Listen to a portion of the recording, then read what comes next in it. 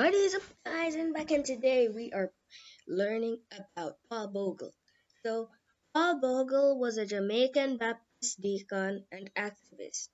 He is a natural hero of Jamaica. He was he he was a leader of the 1865 Morant Bay protesters who marched for justice and fair treatment for all the people in Jamaica. He was born in 1822 in the Saint in St. Thomas, Jamaica. He died October 24, 1865 in Morant Bay.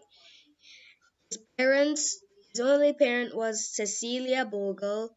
He was buried at the National Heroes Park in Kingston. His siblings are Moses Bogle and Maud Bogle.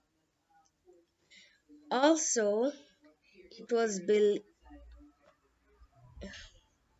it is uh, it was believed he was born free about 1822. He was a Baptist deacon in Stony Gut, a few miles north north of of of Morant Bay of Morant Bay and was eligible to vote at the time when there were only 104 voters in the parish of St. Thomas. He was a firm political supporter of George William Gordon.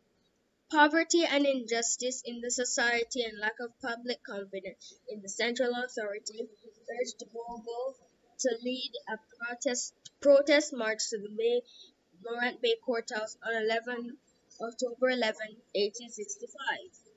So that's it, guys, for now. Bye.